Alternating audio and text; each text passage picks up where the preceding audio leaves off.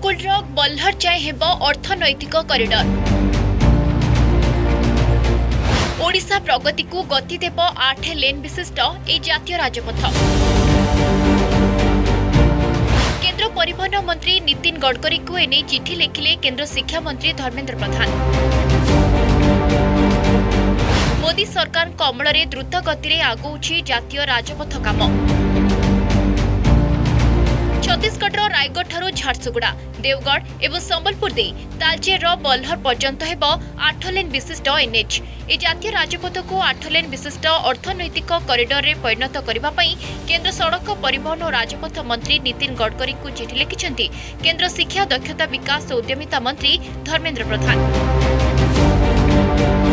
ରାୟଗଡ଼ରୁ ତାଲଚେରର ପଲ୍ଲର ପର୍ଯ୍ୟନ୍ତ ଲମ୍ବିଥିବା ପ୍ରାୟ ତିନିଶହ କିଲୋମିଟର ରାଜପଥ ଇବ୍ ଉପତ୍ୟକା ହୀରାକୁଦ ଅଞ୍ଚଳ ଏବଂ ତାଲଚେର ଅନୁଗୁଳ ଭଳି ତିନି ପ୍ରମୁଖ ଶିଳ୍ପାଞ୍ଚଳକୁ ସଂଯୁକ୍ତ କରୁଛି। ତାପଜ ବିଦ୍ୟୁତ କେନ୍ଦ୍ର ଲୁହା ଆଲୁମିନିୟମ କୋଇଲା ଖଣି ସହ ଅନେକ ଶିଳ୍ପ ଅନୁଷ୍ଠାନ ଏହି ରାଜପଥ ନିକଟରେ ରହିଛି। ଏ ଅଞ୍ଚଳରେ ଦ୍ରୁତ ଶିଳ୍ପାୟନ ଏବଂ ଅର୍ଥନୈତିକ କାର୍ଯ୍ୟ ଅଭିବୃଦ୍ଧି କେବଳ ଓଡ଼ିଶା ନୁହେଁ ବରଂ ଭାରତର ଶିଳ୍ପାୟନ ମେରୁଦଣ୍ଡ ହୋଇଛି।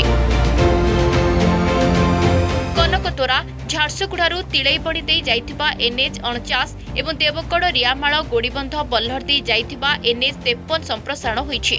ବିଗତ ଆଠ ବର୍ଷରେ ଏହି ରାଜପଥର ସମ୍ପ୍ରସାରଣ ସହ ଅନେକ ଉନ୍ନତିକରଣ କାମ ହୋଇଅଛି।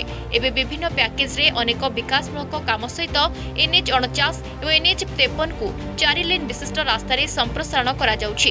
ଏହି ଚାରି ଲେନ୍କୁ ଆଠ ଲେନ୍ କରିବାକୁ ଚିଠି ଲେଖିଛନ୍ତି ଧର୍ମେନ୍ଦ୍ର।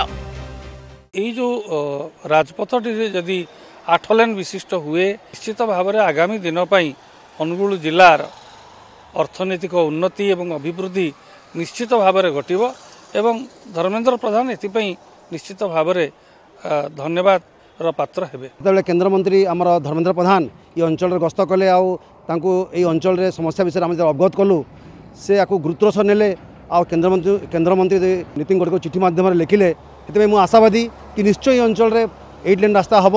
চার লাইনর আমার যে দাবি লা তাকে আট লাইন করা যে সে প্রস্তাব দিয়েছেন সেপা আমি কেন্দ্রমন্ত্রী ধর্মেন্দ্র প্রধানকে বহুত বহুত ধন্যবাদ জ্ঞাপন করুছু এবং আশাবাদী অছু কি নিশ্চিত ভাবে আগামী দিনের আট লাইনর রাস্তা হলে এ অঞ্চলের বহুত জন সুরক্ষিত ভাবে যাইপারে এ অঞ্চলের অর্থনৈতিক দিগরে বহুত বিকাশ হয়ে ଇବ୍ ଉପତ୍ୟକା ହୀରାକୁଦ ଅନୁଗୁଳ ତାଲଚେରରେ ଥିବା ଅପାର ସମ୍ଭାବନାକୁ ଦୃଷ୍ଟିରେ ରଖି ଏହି ଜାତୀୟ ରାଜପଥକୁ ଆଠ ଲେନ୍ ବିଶିଷ୍ଟ ଅର୍ଥନୈତିକ କରିଡର ଭାବରେ ପରିଣତ କରିବା ପାଇଁ ବିଚାର କରିବାକୁ କେନ୍ଦ୍ରମନ୍ତ୍ରୀ ବିଭାଗୀୟ ସଡ଼କ ପରିବହନ ଓ ରାଜପଥ ମନ୍ତ୍ରୀଙ୍କୁ ଅନୁରୋଧ କରିଛନ୍ତି।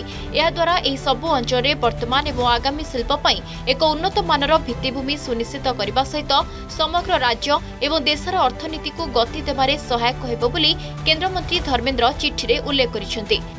ট্রাইবাল এরিয়ারে যদি কমর্সিয়াল আঠ লাইন বিশিষ্ট মানে হব, তাহলে অঞ্চলর ডেভেলপমেন্ট হব ডেভেলপমেন্ট বিকাশ হব। তো সেপাই মু অশেষ অশেষ মাত্রার মাননীয় কেন্দ্রমন্ত্রী আও সড়ক পরিবহন মন্ত্রী দুই জনক ধন্যবাদ দৌছি রায়গড়ু নেই তালচের অনুগুল তক এটা গোটে ইন্ডস্ট্রিয়াল হব হ্যাঁ यहाँ तो बहुत पहलू हो जबार कथा। धर्मेन्द्र प्रधान आज्ञा जेहेतु यहाँ उठे बहुत बढ़िया डिमांड और बहुत जल्दी फुलफिल होवार कथा। जो परिवहन पर जो आप कृषिजात द्रव्य है खनिज द्रव्य है युड़क जीवन बहुत सुविधा हाब एवं धर्मेन्द्र प्रधान प्रयास विशेष विशेष देवगढ़ जिलावासी तरफ़ धन्यवाद अर्पण करेतु देवगढ़ जिला गोटे कृषि प्रधान जिला यथ राजपथ हवा द्वारा ये कृषि ଏବଂ ପର୍ଯ୍ୟଟନ ଶିଳ୍ପରେ ବହୁତ ମାତ୍ରାରେ ଏଠି ଉନ୍ନତି ହୋଇପାରିବ ତାକୁ ଦେବଗଡ଼ ଜିଲ୍ଲା ସାଙ୍ଗରେ ଓଡ଼ିଶାରେ ବି ମଧ୍ୟ ଆଜି ଗୋଟେ ଖୁସିର ବାତାବରଣ ହେଉଛି ଯେହେତୁ ଏଇଟ୍ ଲ୍ୟାଣ୍ଡ ଓଡ଼ିଶାରେ ଆଗରୁ ବହୁତ କମ୍ ଜାଗାରେ ଥିଲା।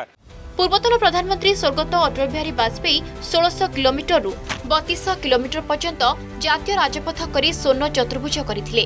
ୟୁପିଏ ଶାସନ ଅର୍ଥାତ୍ ଦୁଇହଜାର ଚାରି ପାଞ୍ଚରୁ ଦୁଇହଜାର ତେର ଚଉଦ ଭିତରେ ଜାତୀୟ ରାଜପଥ ନିର୍ମାଣ ବାବଦରେ କେନ୍ଦ୍ରରୁ ଓଡ଼ିଶାକୁ ମିଳିଥିଲା ଚାରି ହଜାର ଶହେ ଷାଠିଏ କୋଟି ଟଙ୍କାର ଅନୁଦାନ। ଏ ସମୟରେ ୟୁପି ସରକାର ଓଡ଼ିଶାରେ ମାତ୍ର ଏକ ହଜାର ଚାରିଶହ ଅଠାନବେ କିଲୋମିଟର ଜାତୀୟ ରାଜପଥ କରିଥିଲେ। କିନ୍ତୁ ନରେନ୍ଦ୍ର ମୋଦିଙ୍କ ପ୍ରଧାନମନ୍ତ୍ରୀତ୍ୱରେ ଜାତୀୟ ରାଜପଥ ପାଇଁ ଓଡ଼ିଶାକୁ ମିଳିଛି ହାତ ଖୋଲା ଅନୁଦାନ। ଦୁଇହଜାର ଚଉଦ ପନ୍ଦରରୁ ଦୁଇହଜାର ବାଇଶ ତେଇଶ ଭିତରେ ମୋଦି ସରକାର ଓଡ଼ିଶାକୁ ଜାତୀୟ ରାଜପଥ ନିର୍ମାଣ ଲାଗି ଦେଇଛନ୍ତି ଅଠେଇଶ ହଜାର ଦୁଇଶହ ଏକାବନ କୋଟି ଟଙ୍କାର ଅନୁଦାନ। ମୋଦି ଶାସନ ସମୟରେ ଓଡ଼ିଶାରେ ତିଆରି ହୋଇଛି ଚାରି ହଜାର ଶହେ ତେୟାଳିଶ କିଲୋମିଟର ଜାତୀୟ ରାଜପଥ। ଅନୁଗୁଳରୁ ତପନ ଦାସ संबलपुर मलभोई झारसुगुड़ रविनारायण साहू और देवगढ़ निर्माल्य प्रसाद साहू को रिपोर्ट अर्गस न्यूज़ जदि आपण को आम भिडी भल लगा तेब आम को लाइक सेयार और सब्सक्राइब करने को जमा भी बुलां नहीं